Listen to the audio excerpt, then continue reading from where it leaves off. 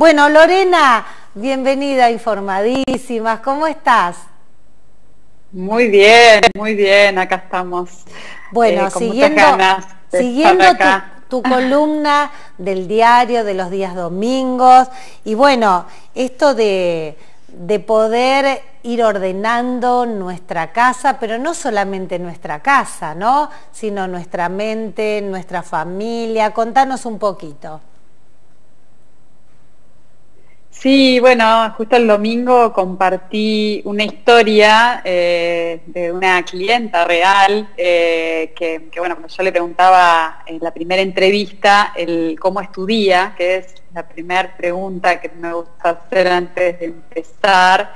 Eh, ella me describió, bueno, por supuesto le pedí permiso y me pareció muy gráfico, muy, viste, ejemplificativo y real el día de esta persona eh, y encontrar estas diferencias entre lo que quiero que se haga, lo que creo que se hace y lo que en, verdad se termina haciendo en casa. Así que eh, por eso decidí compartirlo y, tenía muchas ganas de hablar hoy de, este tema eh, y de qué cosas podemos empezar a hacer en nuestro día, en nuestra planificación, en nuestra agenda, eh, para planificarnos mejor y para organizarnos mejor. Bien, para esto, eh, bueno, hay preguntas que vos haces y que también deberíamos hacernos nosotros, como cuáles? A ver, ¿qué preguntas para arrancar el día?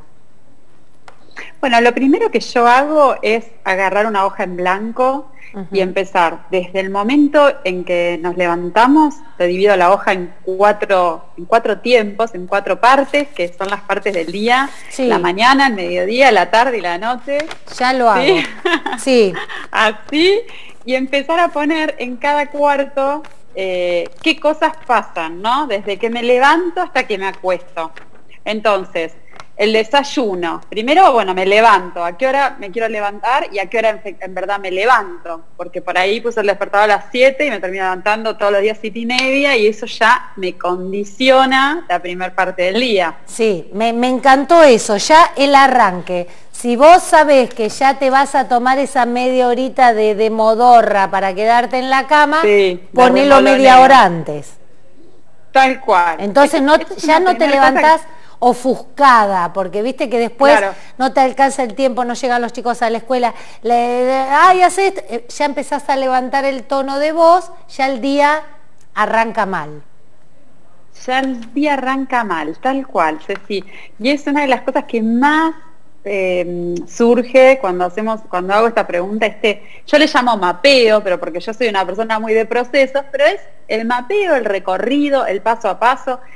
Entonces siempre digo, lo primero que hacemos es agarrar una hoja en blanco, dividimos en cuatro y decimos, ¿qué pasa a la mañana? Bueno, me levanté media hora tarde y ahí ya tengo, hago una crucecita como una especie de oportunidad de mejora o por lo menos una alerta, ¿sí?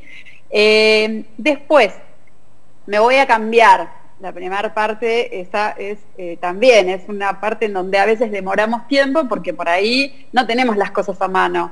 Hay gente que se prepara la, ropa la noche anterior, pero hay gente que no tiene esa previsibilidad. No, bueno, me gusta decidirlo en el día. Bueno, para decidirlo en el día y poder improvisar qué me voy a poner, necesito más o menos tener todo a mano, ¿no? Entonces, ese ya es otro tema que normalmente, uy, tarda un montón en cambiarme. primero, prender la pantalla de EcoTV y ahí ves la temperatura y ya sabes cómo está el día.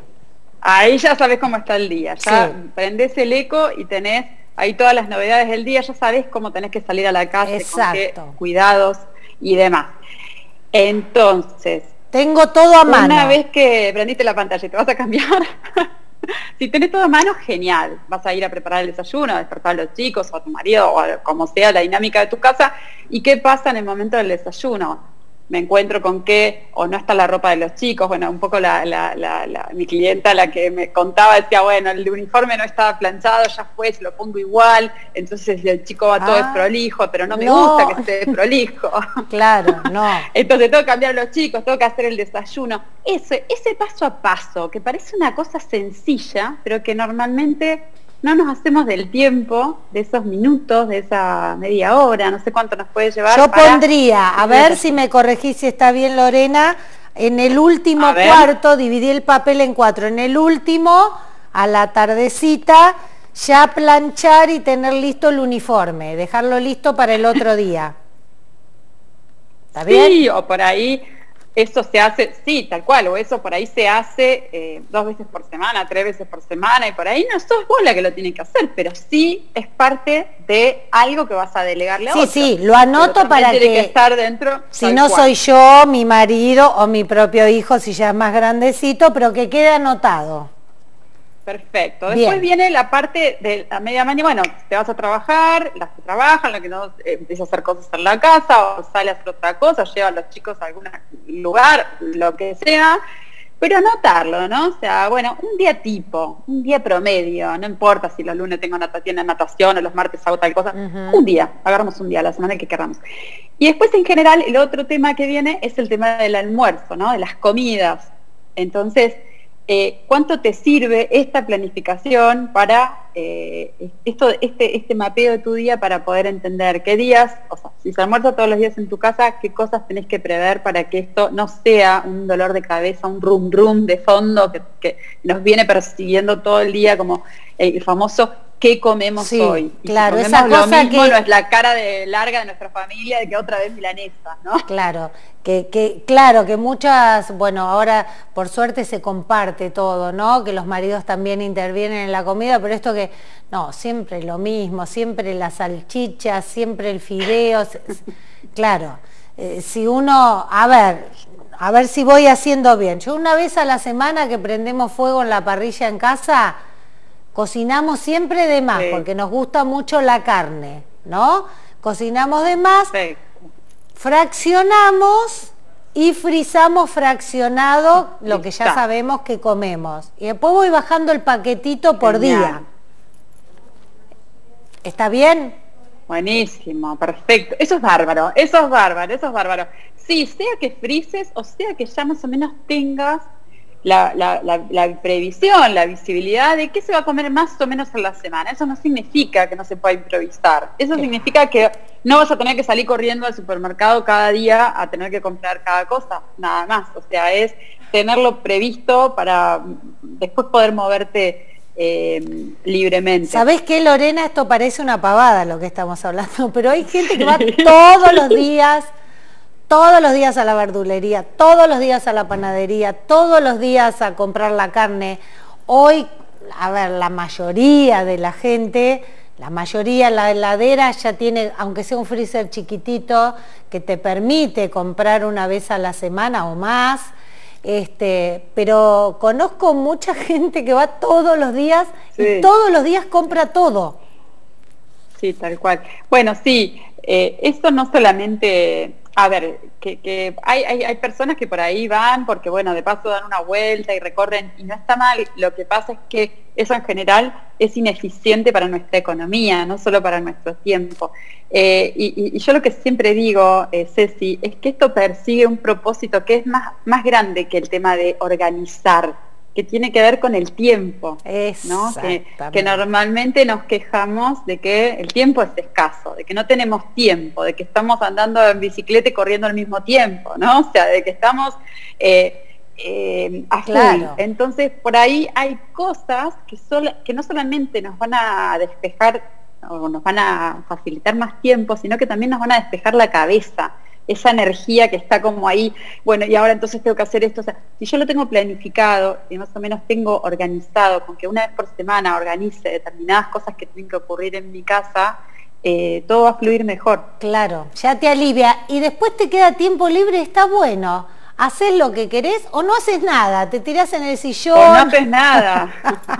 y acá reitero una vez más, no estamos hablando de las tareas de mujeres, estamos hablando de las tareas, mujeres, hombres. Totalmente. Y yo, yo tengo, yo, yo siempre digo que no son tareas domésticas, son tareas colaborativas las de la casa, porque en realidad no, no es que es una tarea doméstica, son tareas que tenemos que hacer entre todos. De hecho, para la semana que viene voy a preparar algo para los chicos, de la organización, el orden de los chicos, y justamente es eh, que todos somos parte de la casa y todos tenemos que colaborar y aprender a colaborar y eso los chicos lo copian de los adultos. Entonces, si hay una de los, o sea, si hay adultos que ahí no suman en alguna tarea, no colaboran, por eso digo tareas colaborativas, que no solamente tienen que ver con lo, de la limpieza, por ahí con poner la mesa, con levantar la mesa, con ir a buscar algo de, algo de ropa, de, no sé.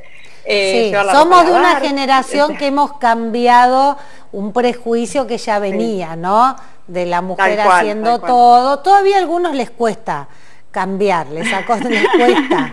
Tengo amigas que les cuesta cambiar a sus maridos también es una tarea de las mujeres, eh, vamos a tener otro terreno, pero también es una tarea nuestra de dar espacio a que por ahí alguien no lo haga exactamente como lo hago yo, pero que es, y, no solamente con la maridos, pues, la humorada, pero con una persona que nos ayude, no, no, porque yo lo hago de una manera y no lo, ella no lo hace igual o él no lo hace igual. La verdad es que está bueno especificar, y acá quería ir también, porque a veces delegamos cosas y nos falta, a las mujeres o a los hombres, ser bien específicos en qué queremos, cómo lo queremos, cuándo lo queremos y quién lo va a hacer, ¿no? Que es uno de los puntos más importantes. Cuando pedimos algo, quiero que laves los platos, no sé, de tal manera y los guardes. O, bueno, para mí es una obviedad que si lavo los platos los guardo, pero para el otro puede no ser una en obviedad. En esta frase que, bueno, los que somos más grandes ya lo, hemos aprendido, este, no demos nada por supuesto. Nada, o sea, hay que, eh, uno a veces cree que el otro va a saber, porque, pero ¿Cómo no vas a saber, eh, no sé, hacer una tarta, por, por, decir algo, por acomodar, saber que después que usás lo tenés que la... Uno da todo por supuesto, que como que el otro sabe que lo tiene que hacer. Y no, no es así. Eh, hay que ir explicando las totalmente. cosas. Y hay que, hay que explicar y sobre todo definir primero nosotros cómo queremos que sean las cosas en nuestro día, en nuestra casa, en nuestro día digo porque nuestra agenda, no es que tenemos que tener una agenda si trabajamos en una empresa, no, tenemos que tener nuestra agenda del día y saber qué queremos que pase, cómo vamos a hacer que pase, quién nos va a ayudar, eh, cómo vamos a hacerlo, eh, cómo vamos a hacer que ocurra, ¿no? Y, en esto hay una cosa que yo, escribí que, que, habla del orden espontáneo, ¿no? Que muchas veces la gente intenta ordenar y bueno, lo pongo ahí para y después lo ordeno, lo pongo ahí y esto en realidad eh, genera queda para siempre. muchas veces mucho más dolor de cabeza eh, que, el famoso queda provisorio para siempre. Provisorio para siempre. Lorena, ahora me quedé con la intriga de esta clienta que te, que te contactó, que vamos a decirle a la gente que te pueden contactar para cualquier duda, este, para ordenar desde, desde un placar, la cocina, la casa, la organización, la empresa. Eh, bueno, esos pequeños tips ya los aplicó, le cambió la vida, le mejoró o todavía está en ese proceso? Porque ahora me quedé con la intriga. No, no, por suerte ya pasó, lo cambió. Y yo siempre digo que lo cambió, cambió un montón de cosas en su casa. Em, y cuando yo hago la primera entrevista esta semana, por suerte también me llamaron. Yo siempre la primera entrevista, siempre a eh, aclaro que es sin cargo y que para mí es un placer ir a la casa de las personas y, ya esa primera entrevista no importa si después no me contratan, pero poder sugerirle cosas, contarle y... primera entrevista sin cargo, Lorena, primera entrevista sí, siempre sin cargo. sí. eso siempre sin cargo. Y sí, ella, eh, bueno, después yo, yo, yo, terminaba ahí, que la historia terminó bien, pero la primera entrevista es sin cargo y siempre eh, en, el primer día de organización yo les pido que esté la familia completa porque, aunque sea cinco minutos, los primeros cinco minutos llego y que esté el marido, que estén los chicos si son adolescentes y demás, para explicarles que no es eh, solamente el orden por lo estético, que hay, hay algo más que vamos a hacer, que va a empezar a cambiar y que también van a tener que estar sumados a, ese cambio, porque si no, eso que hagamos va a ser eh, guita tirada, o sea, va a ser algo que si no se puede sostener, para mí no, no es un trabajo que, quede bien hecho, ¿no? Entonces, por eso me parece muy importante también concientizar a la gente de los beneficios de, claro. de, organizar. Es fantástico, la verdad que es fantástico. los espacios Lorena, le vamos a decir a todos los que nos están viendo, nos están escuchando, que te sigan por las redes sociales, que ahí tenés muchos videitos, muchas propuestas y además que te contacten, porque en esa primera entrevista vas sin cargo, tu casa, tu empresa, Lorena Carmodi. Gracias, como siempre te mando un beso enorme. Bueno, muchas gracias, Ceci, un placer. Muchas gracias por todo. Un beso a toda la audiencia. Vamos al cierre de este espacio.